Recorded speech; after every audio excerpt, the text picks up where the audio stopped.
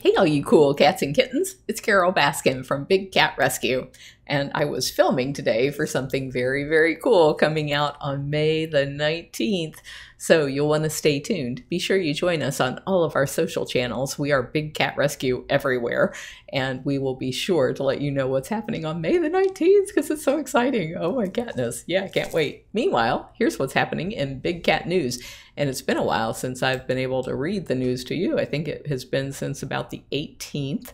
So they're trying to end bobcat hunting in Illinois. We are all for ending bobcat hunting. And I read a great article this morning on Animals 24 7 by Merritt and Beth Clifton. And they were talking about how, in addition to the fur trade pretty much being dead now, no pun intended, that the only fur industry that still existed was trapping for fur in the US of bobcats and otters and um, other little fur bearers and shipping that to Russia. Well, guess what's going on with the Ukraine and the Russian sanctions? They're not shipping furs. And they were saying that so many of these fur markets where they were previously selling US trapped animals to sell into these Asian and Russian mar- markets were only selling about 5% of the animals that they had killed. So the trappers are looking at this and saying, we need to find another job. And we absolutely agree. This is a great picture of a caracal. It says, Look, resident captures best encounter with a caracal in 43 years. And the best kinds of encounters are where the cats are living free.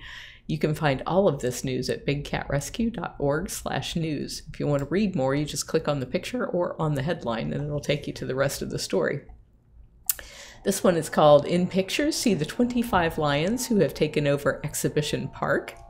The feds find Animal Haven Zoo over cub use and escapes. That was really exciting.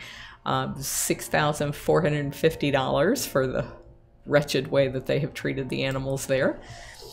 The UP reports that the Forest Department rescues leopard cub in Meerut and searches for the mother. And then I missed the top of this. Teenage boy mauled to death in an animal attack in MP's Sanjay Tiger Reserve. 14 year old boy. That's sad. Tiger death. Tumsar, the big cat, was electrocuted. Two are being held for that. Big Cat Sanctuary opens new event space to help fund rescues nationwide. That's my friend Bobbi Brink out at Lions, Tigers, and Bears in Alpine, California. She's opening an event space. Years ago, we thought we were going to do that. We were going to open this big, beautiful event pavilion, and we were going to do weddings and birthdays and bar mitzvahs and use that as a fundraiser for the sanctuary. And our dreams never came about, but it looks like Bobbi Brinks has. So that's wonderful news.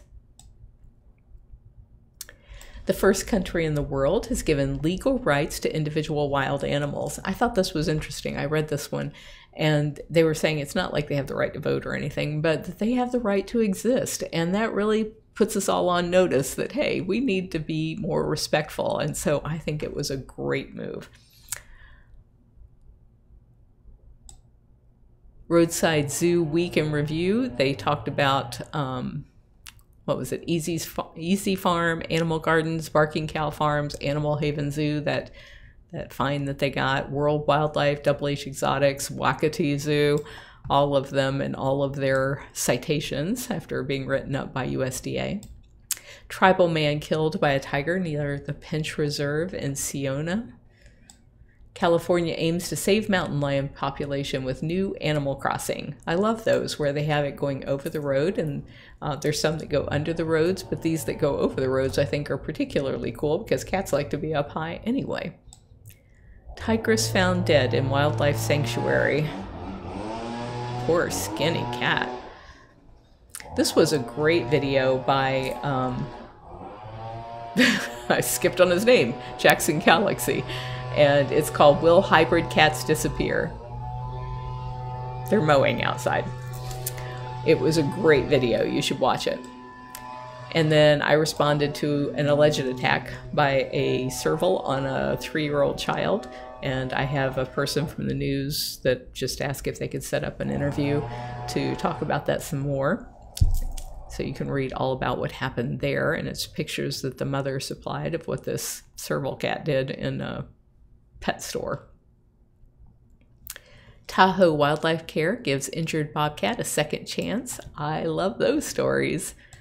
They do need to go free. String of cougar attacks in Greater Victoria prompts warning to watch your pets and your kids.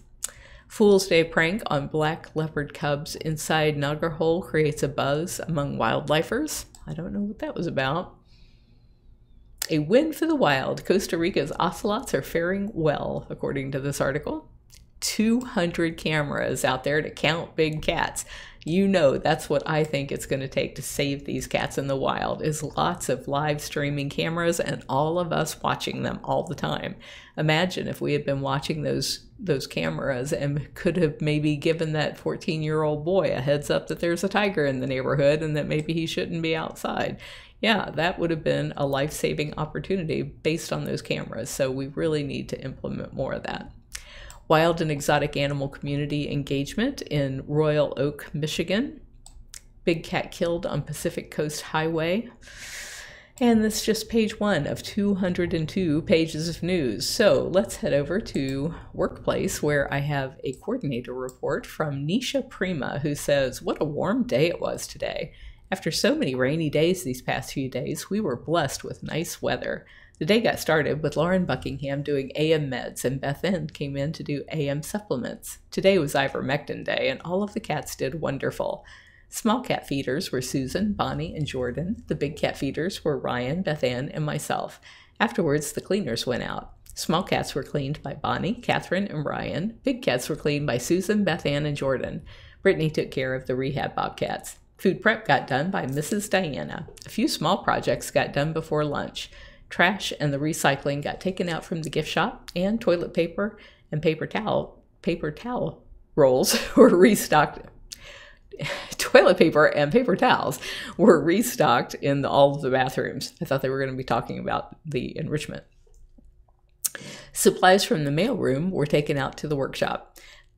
And I heard there was like our mailbox was full and overflowing. We had so much mail going out this morning. So bravo to everybody getting all that mail out. After lunch, the interns mowed, weed eated, and sprayed the walkway tiles with weed killer and fixed up the garden area. Everything looks wonderful. Afterwards, they had some time to start part of Lovey Bobcat's cage. Myself and Catherine cleaned out the golf cart batteries and topped them off with water. Bonnie got big cat enrichment sign off by me. Bonnie and Susan did enrichment and blood sickle cats. I did PM supplements. The beautiful day ended with Brittany doing PM meds and the interns doing chores. Thank you all for coming in today. We were small but mighty, and that was Nisha Prima with all of these lovely photos. You can stay up to date with us at bigcatrescue.org. Check out all of our social sites. We are Big Cat Rescue everywhere that you are. Thank you, and please share this with a friend. Mwah!